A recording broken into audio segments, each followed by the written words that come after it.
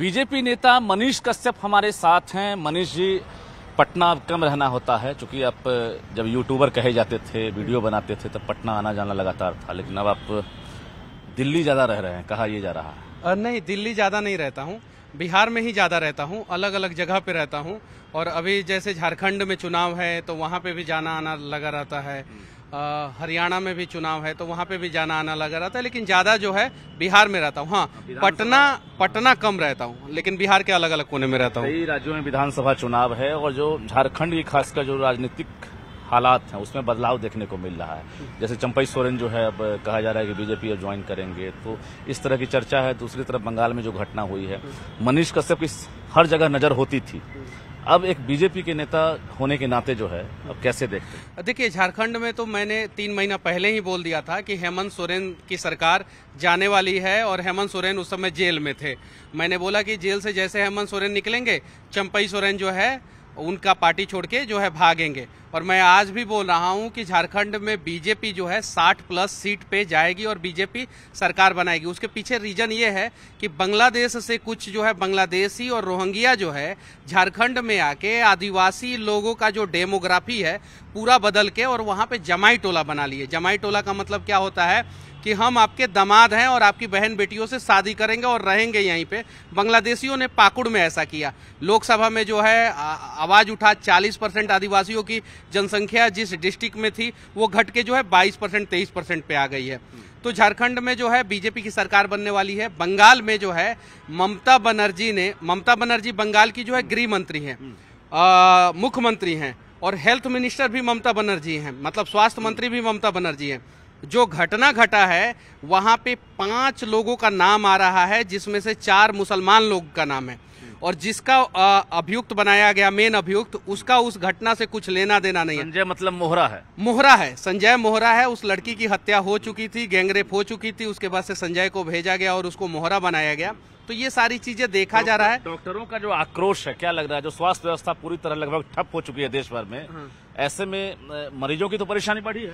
देखिए मैं पूरे देश की तो नहीं बात कर सकता मैंने बंगाल में देखा है कि डॉक्टर सच में जो है परेशान हैं।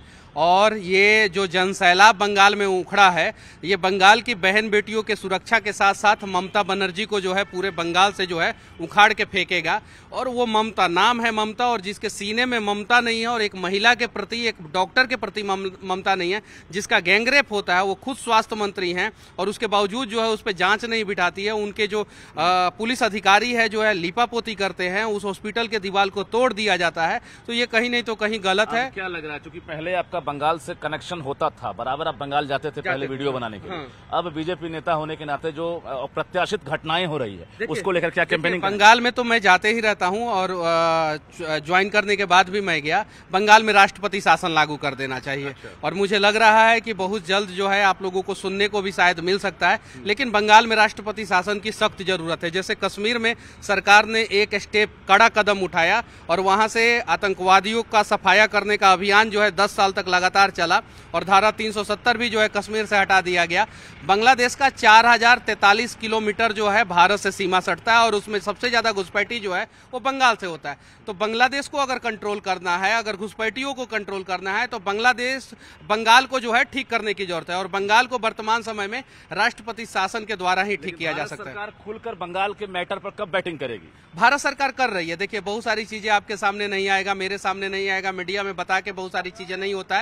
अजीत डोभाल को जो करना है कर रहे हैं। बंगाल के बड़े बांग्लादेश के बड़े बड़े नेता जो है आज घुटनों पे आ गए हैं और झुक गए हैं। तो सारी सच्चाई जो है बहुत जल्द सामने आपको देखने को मिलेगा। ये बताइए कि 2025 में बिहार विधानसभा चुनाव है और एनडीए है। क्या लग रहा है कि सीएम नीतीश कुमार जिस प्रकार से सुर्खियों में रहते हैं काम को लेकर विकास को लेकर 25 कैसा रहेगा? और मनीष कश्यप की नज़र में 25 में किसकी सरकार बनने वाली है? देखिए, सरकार तो एनडीए की ही बनेगी, लेकिन कुछ और काम करना पड़ेगा हम लोगों को। देखिए, ब्लॉक में बहुत सारा समस्या है, जैसे दाखिल खारिज के समय में समस्या हो जाता है।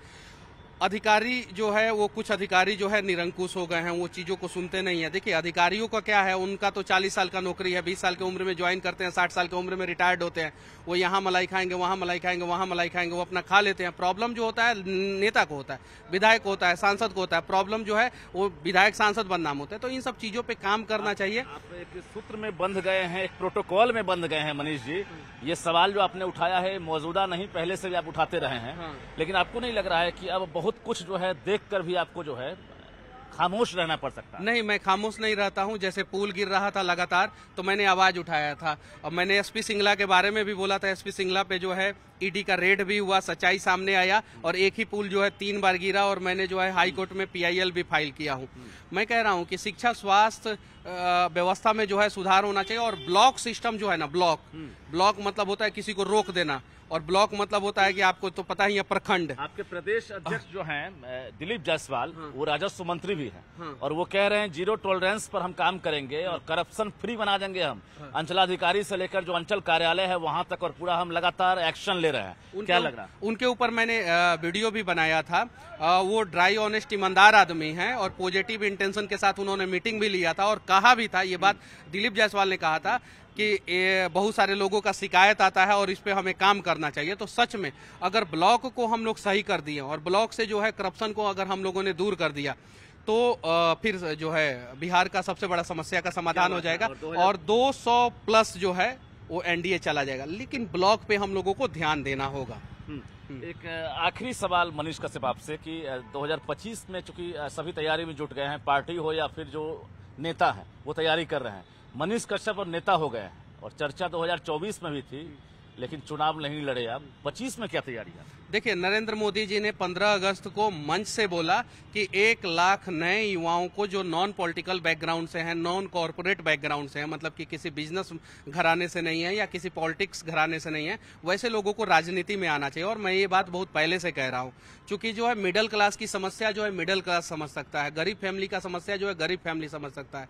तो ये सारी चीज़ें और नरेंद्र मोदी जी सेम बात जो है पंद्रह अगस्त को इस बार दो हज़ार चौबीस में पूछा जाए एक सवाल कि किसके खिलाफ आप चुनाव लड़ेंगे बिहार में? अगर 2025 में आपको टिकट दिया जाता है बीजेपी से, किसका नाम लेंगे आप? कौन सा वो उम्मीदवार होगा? कौन सा वो नेता होगा जिसके खिलाफ आप चुनाव लड़ेंगे? देखिए, मैं बेरोजगारी के लिए चुनाव लड़ूँगा, बेरोजगारी के खिलाफ। मैं शिक्षा को सुधारने के लिए वहाँ पे जो करप्शन है, उसके खिलाफ लड़ूँगा चुनाव। मैं स्वास्थ्य व्यवस्था को सुधारने के लिए चुनाव लड़ूँगा। और मेरे से जितना होगा, मेरे पास जितना नॉलेज है, उस हिसाब से जो है, मैं चीज़ों को दुरुस्त करने के लिए चुनाव लड़ूँगा, किसी व्यक्ति के खिलाफ नहीं लड़ूँगा। लेकिन मनीष कश्यप का पूरा मतलब बिहार ही अपना है, पूरा देश अपना है। जैसे आप चूँकि लगातार आप सुर्खियों में रहे हैं तो क्षेत्र से तो आप बंधे हुए हैं नहीं कि बेतिया के रहने वाले हैं या पश्चिमी चंपारण से आप चुनाव लड़ेंगे। आप लगातार टारगेट जो एक तरह से आपके ऊपर भी लगा, आपने भी टारगेट किया, ऐसा चर्चा रहा। तो क्या लग रहा है कि मनीष कश्यप की एक बड़ी चुनौती होगी और वो कौन सा शख्स होगा जिससे मनीष कश्यप चाहेंगे फाइट करें सामने सामने लड़ें और हम जो है चुनाव जीतकर हम दिखाएँ? देखिए ऐसा कुछ नहीं है। अ, मैं मतलब कि इस पे कुछ नहीं बोलना चाहता हूँ लेकिन मैं आप जो सवाल पूछ रहे हैं उसका जवाब दे दे रहा हूँ। तेजस्वी यादव जी राघोपुर दियारा से इस बार जो है चुनाव हारने वाले हैं क्योंकि आप ये माइक उठाइए और राघोपुर दियारा में जाके लोगों से पूछिए कि उन्होंने राघोपुर दियारा में कितना बार वो आए हैं और राघोपुर दियारा के लिए रोड बनाया कि नहीं बनाया। आज राघोपुर दियारा के लोग बाढ़ के समय में अपने गाँव से नहीं निकल पाते हैं और इनके पार्टी के कार्यकर्ता नाव पे जो है ललटेन का पोस्टर लगा के जो है उस राघोपुर दियारा में जाते हैं। और जहाँ से ये चुनाव लड़ते हैं। पाँच दिन भी जो है अपने जो है विधानसभा में नहीं गए हैं। उनको जाना चाहिए। नहीं गए। आज नितिन गडकरी के पास जो है राघोपुर दियारा का एक प्रतिनिधि मंडल गया था। क्या आप लोगों को पता है? राघोपुर दियारा का प्रतिनिधि मंडल नितिन गडकरी के पास गया था। उनको जो है अपने विधायक पे भरोसा नहीं था। तो प्रतिनिधि मंडल जब उनके पास गया तो जो आपके एक रो थी, पुल बन रहा है गंगा नदी पे दीदार गज के पास आसपास जो है जो पुल बन रहा है यहाँ से वहाँ तक उसमें जो है एक एक्सटेंशन दिया गया राघोपुर दियारा के लोगों के लिए उतरने का और चढ़ने का। गांधी सेतु जो बना है उसमें बीच में उतरने चढ़ने का दिया गया है? नहीं दिया गया। जेपी सेतु में बीच में चढ़ने उतरने का दिया गया है? नहीं दिया गया। यानी राघोपुर दियारा के लोगों को भी उम्मीद है कि हमारे दुख और दर्द को जो है ना भारतीय जनता पार्टी के नेता नितिन गडकरी ही समझ सकते हैं। हमारे पथ परिवहन मंत्री तो पुलवा भागलपुर का काहे गिर रहा है? 2014 में बीजेपी सरकार नहीं था उस समय पुल की बात हुई थी। 2015 में पुल का शिलान्यास हुआ था और लालू जी के जन्मदिन के अवसर पे पुल का उद्घाटन होने वाला था। पुलवा जो है ये भ्रष्टाचार को झेल नहीं पाया इसीलिए भागलपुर का पुल 1700 करोड़ का पुल पूरे भारत में उठा के देख लीजिए एक पुल तीन बार नहीं गिरा है ये तीन बार गिर गया और अभी भी मैं कह रहा हूँ कि आप लेके चलिए रिबाउंड हैमर टेस्ट कीजिए वो गिरेगा। क्यों? क्योंकि तेजस्वी यादव जी दो बार पथ परिवहन मंत्री थे। भागलपुर पुल के दौरान। ई जब पथ परिवहन मंत्री थे तभी जो है उस पुल का उद्घाटन हुआ था और ई जब पथ परिवहन मंत्री थे तब जो है पुलवा जो है दूसरी बार गिरा था। बिहार में चूँकि झारखंड में घटना दिखने लगी है बिहार में क्या लग रहा है? महागठबंधन में टूट की है संभावना ऐसा लग रहा है? बीजेपी के नेता कह रहे हैं कि अब इसमें भी जो है ऐसा होगा और यहाँ से एनडीए की तरफ़ रुख करेंगे। देखिए अ, मतलब कि महागठबंधन की स्थिति ऐसी है कि आप जब चीज़ों को समझने का प्रयास करेंगे तो वहाँ के जो विधायक या एमएलसी है ना उन लोगों का फंड जो है लिखवा लिया जाता है। और कौन लिखवाता है आप सभी को पता होगा। हमारे पास भी जो है बहुत सारे लोग जो है जानकारी देते हैं। वहाँ के विधायक नहीं खुश है। वो लोग बोलते हैं कि हर तीन महीना में मोटा अमाउंट जो है पता नहीं कौन से भगवान जी के ऊपर चढ़ाना पड़ता है भेजना पड़ता है। तो भगदड़ तो मचेगी ही। ये सब आप लोगों को पता है लेकिन आप लोग पता नहीं क्यों नहीं दिखाते हैं। विधायक लोग बोलते हैं कि हर तीन महीना में एक मोटा अमाउंट ले जाके जो है ना भगवान जी को चढ़ाना पड़ता है। महागठबंधन में कौन सा भगवान जी है वहाँ पे चढ़ाना पड़ता है। इसीलिए जो है आनंद सिंह की पत्नी ने जो- जो है पार्टी छोड़ा। अब जाके पता कीजिए कि ये बात सही है कि नहीं। इसीलिए जो है ना बहुत सारे नेताओं ने जो है इस बार वोटिंग हुआ तो पार्टी छोड़ा। ये सच्चाई है कि नहीं? लेकिन नहीं। चलिए नहीं ये चीज़ें जनता को जानना चाहिए ये चीज़ें आप लोग नहीं दिखाते। इन सब चीज़ों को दिखाइए कि वैसे पार्टी की जब सरकार बनेगी तो बिहार कैसे चलेगा? नहीं चल पाएगा और वैसे पार्टी की सरकार बनेगी ना तो पुल एक बार नहीं तीन तीन बार चलिए गिरेगा मनीष जी 2025 में चुनाव लड़ रहे हैं कि नहीं? जनता जानना चाहती है। एकदम लड़ेंगे क्यों नहीं लड़ेंगे? अ, लड़ना है मिडिल क्लास मध्यम वर्गीय परिवार का गरीब परिवार का जो लड़का जो है संघर्ष का ऑप्शन मांगा जाएगा। पार्टी जहाँ से भेजेगा वहाँ से हम लोग अपना काम करेंगे और अपने हिसाब से करते रहेंगे लड़ते रहेंगे। और बिहार के लिए कुछ ना कुछ तो करेंगे। बहुत बहुत शुक्रिया मनीष कश्यप न्यूज़ 18 से बात करने के लिए। हमारे साथ मनीष कश्यप थे और इन्होंने खुलकर कहा है कि 2025 में पार्टी चाहिए तो मेरी भी इच्छा है, मैं चुनाव लड़ूं। वहीं तेजस्वी को लेकर, लालू को लेकर और बीजेपी को लेकर इन्होंने सब कुछ कहा है, कैसे झारखंड में सियासी समीकरण में बदलाव दिख रहे हैं और बिहार में भी आने वाले समय में बदलाव होगा और लोकसभा के बाद अब विधानसभा में भी बिहार में एनडीए की भारी बहुमत से जीत होने वाली है। कैमरामैन मनीष जुनिया के साथ रजनीश कुमार, न्यूज़ 18 पटना।